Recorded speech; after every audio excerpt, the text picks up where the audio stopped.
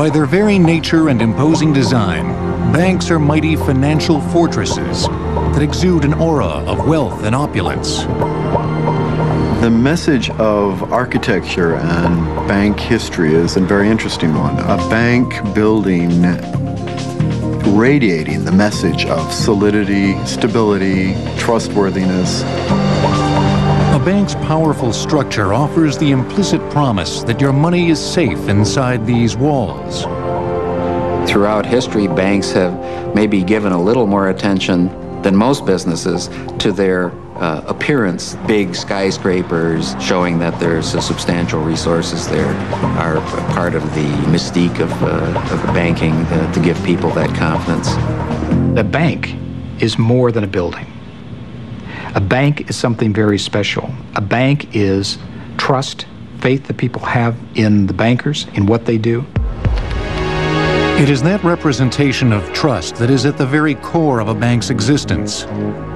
Without it, a depositor loses faith, and a bank reneges on its fundamental pledge. Within the past decade, modern technology has launched a revolution that has dramatically altered the way banks and their customers do business. A new era of electronic banking has moved to the internet, and soon it may even be possible to do your banking in the kitchen using a microwave oven. We realize the internet is a powerful new tool that's going to change financial services and the way they're delivered. Today, there are less than 10 million consumers doing online banking, and that'll be over 100 million in the near future. From millionaires to average depositors, security has always been the most important thing a bank has to offer. Nowhere else is that security more apparent than inside a vault. They want to see a vault door. Little children and old men, they want to see them. Little old ladies, there's my dollar in there. At the historic J.P. Morgan building on Wall Street, this 52-ton vault protected the economic empires of America's business elite during the early part of the 20th century. The vault stood in silent defiance to anyone who would dare even think of crossing its threshold without proper authorization. Morgan's gargantuan vault was the heart of the bank itself, literally the cornerstone of its success. It's the backbone, the spine of it all. That's what people see, that's what they recognize, and that's what they feel comfortable with. They feel that the bigger their vault is, the more successful their bank is. A modern bank vault is a six-sided box constructed of different layers of various materials. The innermost layer is a thick steel lining that makes up the floor, walls, and ceiling. A concrete casing surrounds the steel cage, it's all encased by a web-like system of steel reinforcing rods inserted both in and around the concrete shell for additional strength. The most visible and impressive feature of a bank vault has always been its door. The banker, he wanted to make sure that he was protecting the assets of his clients, and so uh, bigger was better as far as thick walls with a big massive vault door on it. The vault door is a mountain of metal its hinges must be able to support a weight of as much as 20 tons, but be able to swing open smoothly and efficiently. Advancements in technology enabled the construction of bank vaults to change considerably over the latter part of the 20th century. In the 20s, bank vaults were 27 to 30 inches of concrete. Now they are making them down to 12 inches of concrete. The concrete is 8 to 12 times stronger than it was in the 1920s. The steel materials that are going into the safes are also 10 to 12 times stronger than they were in the 1920s. Vault doors face a trial by fire at the Underwriters Laboratory in Illinois. Technicians attack vault doors to determine how reliable they really are. The main concern of a, of a banker would be to put a product in there that has been tested by certified trained professionals to emulate what a high skilled burglar would bring in to try to penetrate that structure. The longer it takes to successfully assault a vault, the higher its security rating. The UL rating system for safes starts at a five minute container and progresses through 15 minutes, 30 minutes, and one hour. At the highest end, which would be one hour and explosion resistant, uh, you would find a jewelry safe, which could contain several million dollars worth of jewelry. Vault construction also incorporates a variety of sophisticated alarm systems. A sound accumulator is a device that is actually a microphone that's placed inside the vault and it listens to and for sounds like somebody pounding on the side of a vault, and it accumulates it and keeps track of it. And after a certain amount of time or a certain level is reached, it then trips the alarm. Bank vaults include special openings for other electrical systems that support interior lights and conduits for telephone lines. It is critical that vaults also have openings to accommodate air intake and exhaust conduits. The earlier ones didn't have it, the newer ones do. But the banks would always put in what we call a vault ventilator system. It's, a, it's in case you were locked into a vault in a hostage situation or just heard it in there after a robbery or whatever, the employees or the people inside that vault would have the ability to turn a fan on that would suck air in from the outside. In addition to guarding the bank's separate cash containers, a typical vault also houses a gleaming array of safe deposit boxes. They are actually a safe within a safe. But surprisingly, they may not be quite as sturdy as you think. It's a casing, which is a five-sided box that was a quarter inch thick solid steel. And then on there, some brass hinges were, were put on there with a half inch thick polished steel door. The boxes have basically gotten lighter because your casings are thinner now. Some are just hollow doors with a lock on them. The banking industry said, hey, you know, I'm, I'm spending X amount of dollars to build this massive concrete vault and putting this expensive vault door on it. Give me something that's cheaper to lock up inside of my room here. A safe deposit box has two keys, one for the customer, one for the bank. The box can't be opened without two keys at the same time. Everything in a bank for auditing purposes is under what we call dual custody, whether it be a vault door, whether it be a night depository receiving chest, a safe deposit box, a cash safe, a teller's locker. It's going to take more than one person to get access to open that door to get whatever the contents are out. Simple combination locks opened early bank vaults and safes. But this kind of lock was attractive to criminals, who could open them with relative ease. It also created the possibility that a bank manager could be kidnapped and forced to open his own vault. Time locks were developed as a way to prevent that. The first time lock in a bank vault was installed in 1874. A time clock is a timing mechanism with appropriate linkage internally that is, uh, has to coordinate with the linkage on the combinations. So even though you have, say, the combination properly, if there's still time on the time clocks when you wind them, the combinations aren't going to work.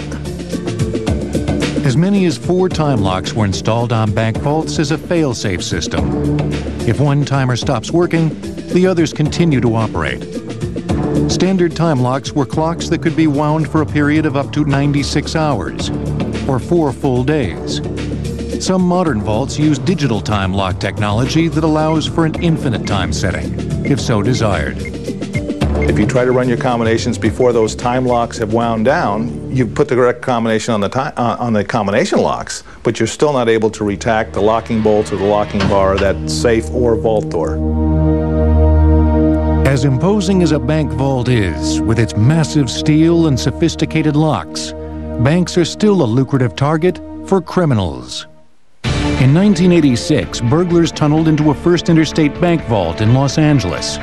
They stole $2 million worth of cash, jewels, and rare coins. The burglars and their booty have never been found.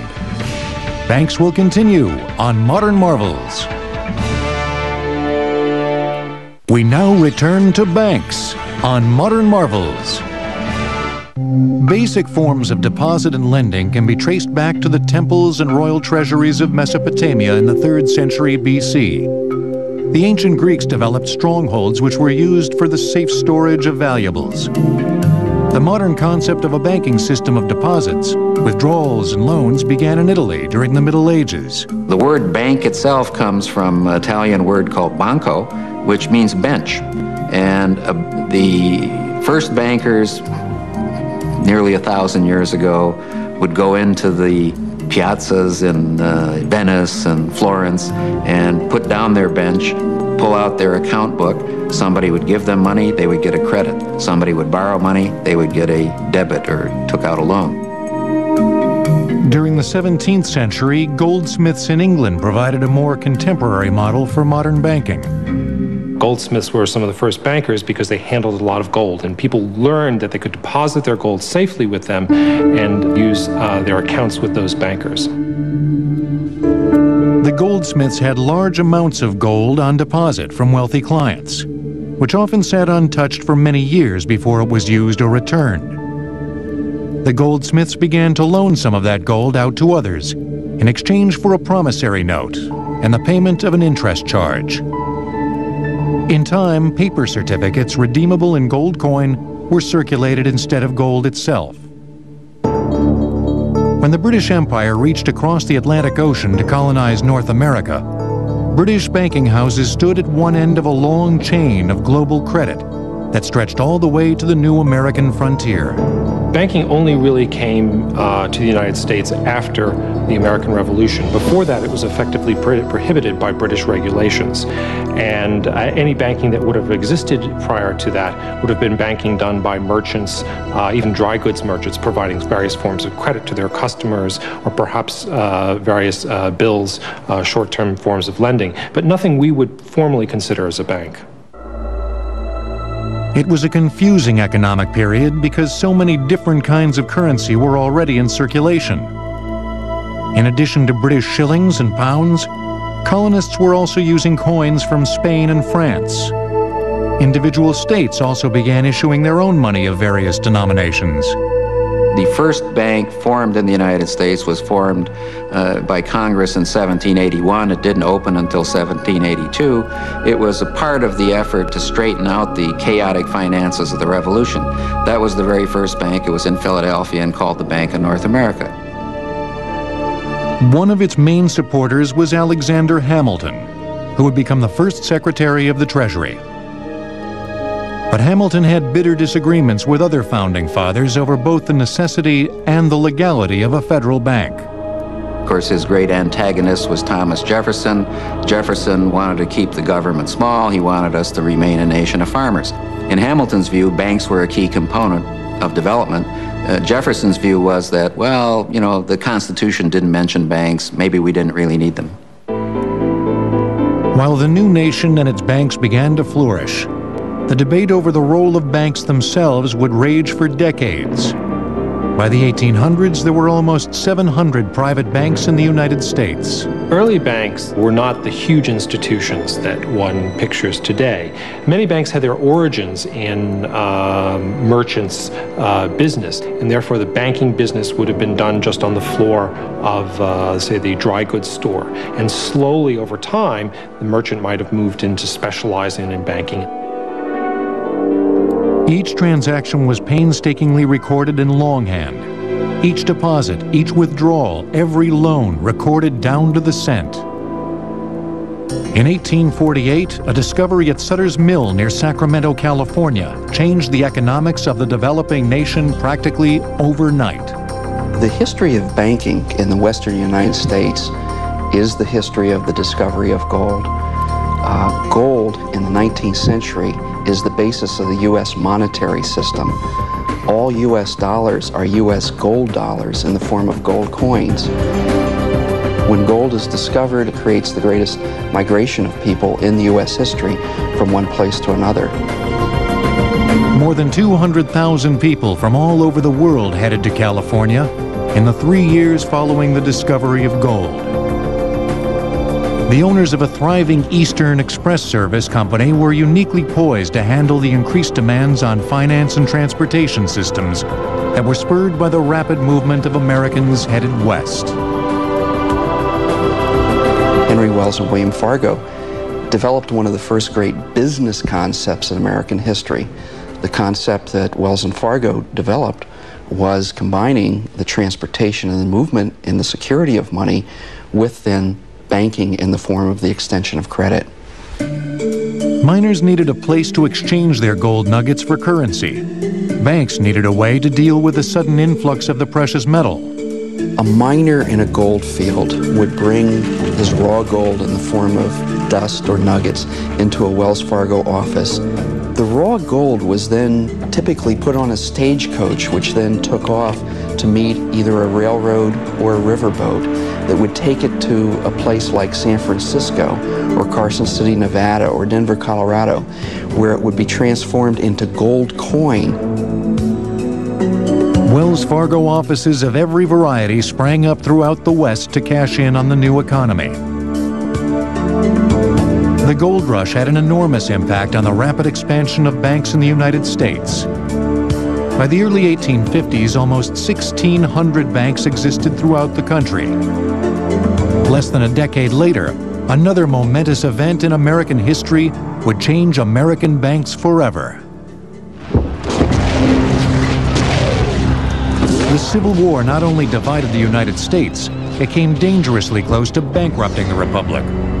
By 1860, there was still no national currency, and the Civil War made a chaotic condition even worse by creating an avalanche of competing currencies. Confederate states printed their own bills. Banks in Union states did the same. Before the Civil War, all the banks of the country issued their own banknotes. Each one issued several denominations of banknotes a 1, a 5, a 10, a 20, maybe a 50. Uh, so take, say, five different denominations of notes and 1,600 banks. You had 8,000 different appearing pieces of paper, all representing United States dollars. At the end of the Civil War, the federal government mandated a single currency for the reunited nation. It enforced that order by imposing a 10% tax on earlier currency, essentially making it worth that much less. In 1866, at the end of the Civil War, the federal government passed a law saying state banks could no longer issue these notes, and so we got federally backed currency. Out west, the gold rush had ended, and a silver boom had begun in Nevada. But the entire banking structure of the western United States was about to be tested by one of the most devastating natural disasters of all time. We now return to banks on Modern Marvels. At the beginning of the 20th century, the city of San Francisco had begun to come of age. The gold rush era had given it a substantial population. By this time, Wells Fargo Bank had become deeply entrenched in the economic infrastructure. Then, everything literally changed overnight. In April 1906, a great earthquake leveled San Francisco. But the earthquake was not the worst of it. The firestorm that followed the earthquake uh, destroyed uh, all of the remaining infrastructure of virtually the entire city. The banks, in particular, were in a difficult position because their vaults were so hot as a result of the ensuing firestorm that it was days before they could enter the vaults and see whether or not, in fact, they were still in business. The president of the bank sent a famous telegram to all depositors and correspondents. Building destroyed, vaults intact, credit unaffected. Eventually, he discovered that the contents of the vault had indeed survived intact. The calamity was also a trial by fire for another San Francisco financial institution, the Bank of Italy. The actions of its founder, A.P. Giannini, following the earthquake are still the stuff of legend. After the earthquake struck, AP made his way back up to the city and found uh, the city in ruins. And the fire was uh, starting to spread down in the financial district.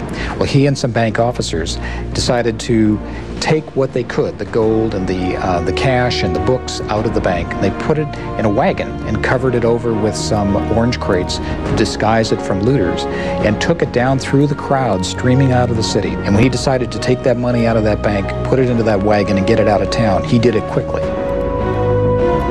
Many bankers wanted to stay closed for up to six months. They weren't sure the city was going to survive. AP said, That's wrong. He said, people need help now. If you don't start lending money, there will not be a San Francisco. He said, tomorrow morning, I'm going to put a desk out on Washington Street Wharf, and I advise all you bankers to beg, borrow, or steal a desk and follow my example. And he began making loans to rebuild the city. Giannini had originally opened the Bank of Italy in 1904. By 1918, he had expanded to 24 branches in 18 California cities. Ten years later, there were 292 branches throughout the state. The creation of a vast network of bank branches will be Giannini's legacy. He saw the potential of a thing called branch banking in America when no one had ever applied that concept before. There were banks that had small branches and they were separate offices, but what AP's vision was was to create a statewide network of branches. Bankers in other cities did not exactly welcome Giannini into their territory with open arms. They saw the spread of his banking empire as a real threat. Uh, other bankers in Los Angeles didn't want him there. The uh, LA bankers took out ads that said, California does not need another Mussolini. That did not stop Giannini. His associates said the snub served to inspire him. He bought a little bank in Los Angeles that had been founded in 1923 called the Bank of America of Los Angeles.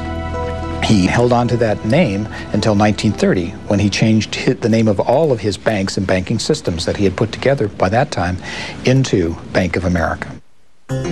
Giannini's vision eventually grew into the largest banking firm in the United States. Giannini's revolution in banking occurred at the same time as an American social revolution that was marked by the women's suffrage movement.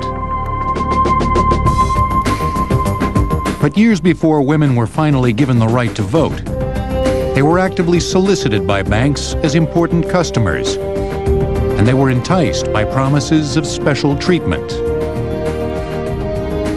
Banks recognized women were responsible for managing household accounts and they set up special areas in the bank for women customers. The Bank of New York was one of the first financial institutions to offer women a different banking experience from that of its male customers. The women's room in the bank was usually sectioned off. It was private, it was a little bit nicer. Lots of times there were a, a sofa, perhaps, or some chairs, a little sitting area, nicer plants, um, really more decorative, almost to feel like a parlor or a living room um, to make the women feel at ease with their financial transactions. It was really a marketing angle to attract women customers and make women feel more welcome in the bank and make their business a part of the bank's business. The bank's challenge with women was the same as it was with men, convincing them that their money was safe. One female customer who wasn't totally convinced was Hetty Green. She had inherited a fortune of millions of dollars and made millions more on her own by investing in the stock market. On Friday afternoons, she'd go into the bank. They would lead Hetty down into the vault. She would withdraw all of her money, count it, fill out a deposit ticket, and deposit all of her money back in the bank. I don't think she trusted the bank. It was a common theme of the era, brought on by hundreds of bank failures between 1870 and the early 1900s. The Federal Reserve System was established in 1913 to help change that trend. People lost confidence in their banks. Banks depended upon reserves of gold and silver. They didn't have a central bank backing up the transactions. And when people lost confidence or got scared, they'd run to the bank and they would take out their money and they'd cause a mini crisis in that region. That was, it was a terrible situation. The Great Depression of the 1930s would pose the most monumental challenge to American banks and the country as a whole.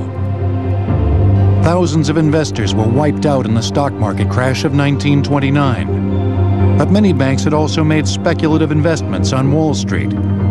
When the bottom dropped out of the stock market, it sent a shockwave of failure and despair through the American banking industry. The fact that you had 25,000 banks all over the United States meant you had 25,000 small institutions.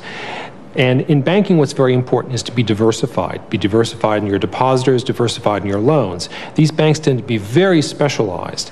And because they were small and undiversified, they were very susceptible to economic shocks. The Great Depression, of course, was a huge shock. there were massive bank failures across the United States. You went from having perhaps around 25,000 banks in the late 1920s to about 14,000 banks around 1933. The failure of so many banks combined with a nationwide loss of consumer confidence prompted people to stop spending what money they had. That loss of demand led to a dramatic drop-off in the country's production of consumer goods, making things even worse. The result was drastically escalating unemployment. By 1932, 15 million Americans, or 30% of the country's workforce, were out of work. Bank failures fed off that vicious cycle. I would say, in some sense, the Great Depression actually hit rural areas of America before the 1930s. Low crop prices, farmers couldn't repay their bank loans. But these were little tiny banks in places like North Dakota, and they didn't seem to have much impact on the rest of the country. What happened in the 30s is that as prices fell, lots of businesses could not repay their bank loans. Therefore, the banks closed their doors. Therefore, the public lost their money. And the idea grew that you ought to just get cash and keep it under your pillow or in your mattress. I can assure you that it is safer for you to keep your money in a reopened bank than to keep it under the mattress. President Roosevelt's response to the bank failures was the New Deal legislation that included banking reforms that would change the industry for more than half a century. Among its provisions, a new concept called deposit insurance. The Federal Deposit Insurance Corporation guarantees each account up to $100,000. That's an important element of confidence. It doesn't mean much to a business that might leave millions of dollars or transfer millions of dollars through a system, but that insurance gives the individuals confidence that their money is safe and sound. The government also took drastic action that split the banking industry into separate parts. It was decided that uh, because of the stock market crash and the depression, that it would be a good idea to break off commercial banking from investment banking. Commercial banking deals with loans and deposits, investment banking deals with underwriting securities, issuing new securities. The Glass-Steagall Act in 1933 decided that bankers would have to choose either to be commercial bankers or investment bankers, but they couldn't be both. It was thought that banks would be less likely to fail if they were not operating as financial supermarkets. Economists today believe that bigger financial institutions are much safer because their risks are diversified. The merger between Citibank and Travelers Insurance that created the financial behemoth of Citigroup would have been illegal had the Glass-Steagall Act not been repealed in 1999. Coming up next, the evolution of bank security systems. If all the currency in the five-story vault of the Federal Reserve Bank of Dallas was stacked in a single pile, it would reach 17 miles high. Banks will continue on Modern Marvels. We now return to banks on Modern Marvels. As long as there have been banks, there have been criminals who have been attracted to their cash assets like insects attracted to light. That was never more true than in the Wild West of the late 1800s, when marauding bands of outlaws terrorized banks in small towns on the American frontier. Perhaps the most famous outlaw of the era was Jesse James. His most notorious holdup took place in 1876, when he and his gang tried to rob a bank in Minnesota. When the bank clerk refused to open the safe, James and his accomplices murdered him in cold blood. In the shootout that followed, all of the outlaws except Jesse James and his older brother Frank were either killed or captured. Fifty years later, the Great Depression triggered another nationwide spree of bank robberies and elevated a new generation of criminals to legendary status. The FBI named one of them, John Dillinger, public enemy number one for his daring bank robberies. Dillinger's gang included men with nicknames that belied their violent natures. Babyface Nelson and Pretty Boy Floyd, both of whom were later killed in gun battles with police. It is at the very core of a bank's promise to its customers that the bank will keep deposits safe and sound from both economic peril and human greed. In the old days, the, the thought was to separate the teller from the bad guys, if you will, and you, you had that caged environment. Cages were meant to protect the teller from the threat of harm while providing a possible deterrent against bank robbery. For the most part, they worked. Tellers and their cash drawers were kept at a safe distance from the threat of intrusion from a bank robber. Primitive bank alarm systems were developed in the late 1800s. They started with what they called a multi-box alarm in buildings that they were monitoring and by just pushing a button in those locations it would send a certain kind of telegraph message to the office. Later there was a tripwire and if somebody would walk into the building after hours and trip the wire it actually sent one of those signals to the central station so hence the, the term tripping an alarm which is still what's used today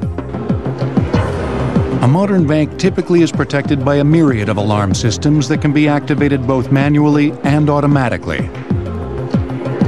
A bill trap is actually a device that is placed in the teller drawer and uh, without getting too specific and giving away any of the uh, the industry secrets, it's a it's a device that is part of the robbery alarm system. By a teller just simply taking the money out of the drawer, there's a way that it is activated and in fact then sends an alarm signal. Bullet-resistant glass was developed that would help shield bank tellers from gunmen who would open fire during a holdup. Technology allowed the glass to get thinner, but stronger. Bullet-resistant glass is mainly used at a bank's drive-up window. However, sophisticated alarm systems remain at the core of a bank's security. Burglar alarm system for attacks that would take place in an intrusion type alarm after hours when nobody's in the bank and then, of course, there's a robbery system that, that would be used to notify law enforcement in the event that a bank robbery takes place. We began to see the use of 35 millimeter or hard print cameras. They were normally put over the doors to catch the full face of someone as they were leaving the office. We're seeing the use of closed circuit television as, as a much greater a quick way to get photographs of someone who's been in the bank. Today, within minutes, you can have photographs of people out of those closed circuit television systems. We're seeing digital recording, which allows a very quick instant use and email of photographs to a police car. To detect bank burglaries after hours, bank lobbies are crisscrossed by a network of sensors. Infrared is a, is a form of motion detection. Infrared measures body heat or measures the heat, ambient heat temperature. Once an area is empty or vacant, a certain ambient temperature gets established. If a human being who has a certain body temperature walks into that, it causes a spike in that temperature and sets an alarm off. There's also ultrasound. Sound waves are actually transmitted and it's the breaking of those waves and intrusion into the pattern of waves that takes place that again causes an event to be reacted to. When ultrasound and infrared devices are used in tandem, both must trip independently in order to send an alarm. The system is going to be controlled through a control box where all of the various devices that can trip the alarm feed into. So you have a centralized point in the office that is kind of the brains of the alarm system. The simplest system involves a dialer and sends the alarm out over a telephone line, which can easily be disabled. But more sophisticated alarms are now being integrated into the bank's data network. To defeat them, you have to hack into encrypted data being transmitted continually with constant electronic monitoring at both the send and receive points. I don't want to say it's impossible, but it would be very difficult today. Um, and that's called grade AA line security. Um, to have that kind of encryption on both ends, a handshake that takes place, and a constant monitoring of that alarm so that if the line itself goes away, let somebody cuts the line, that in itself would trigger an alarm and let you know that something is, is amiss. I'm not aware of a perfect security system. Uh, it is almost a chess game sometimes that we play with the bad guys, uh, trying to stay one step ahead of, of the technology. And as we develop it, they find ways to attack it, they find ways to get around it. People are going to try and get to it, and it's just not infallible. Coming up next, the personal banking device that has become a worldwide phenomenon. Plus, internet banking and the question of security in cyberspace. We now return to banks on Modern Marvels.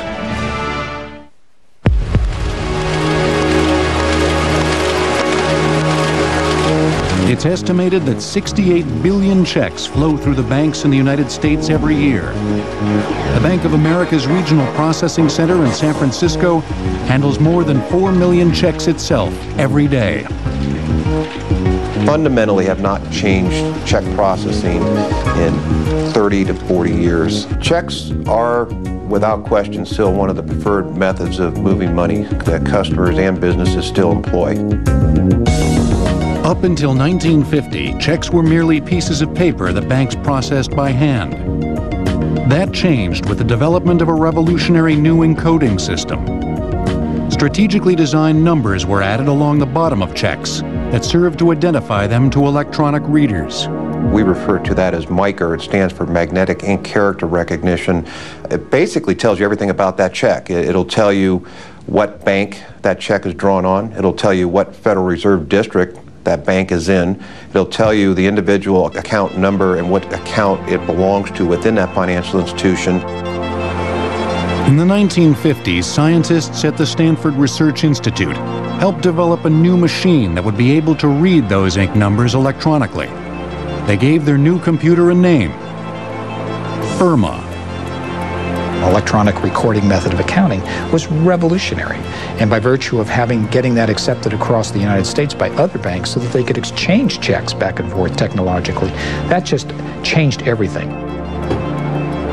ERMA could process more checks in one day than a bank's accounting department could handle in an entire year. Up until this point, banks had done their bookkeeping by hand. The development of mechanical accounting devices helped speed up the process and made record keeping more practical. But it was still a laborious procedure. The technological ante was raised again by a little piece of plastic that would change everything. The banks quickly realized that the credit card was a natural for them because banks are in the business of helping us make payments and they're in the business of granting credit. The credit card does both. The basic idea of a credit card originated in the United States during the 1920s when a few oil companies and hotel chains began issuing them to customers for purchases made at company outlets. The first national credit card plan was BankAmericard, initiated in California by the Bank of America in 1959. It expanded to other states in 1966 and was renamed Visa 10 years later.